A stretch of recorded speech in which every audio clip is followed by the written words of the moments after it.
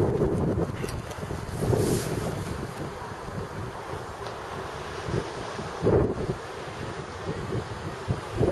music officer's it just more and more people are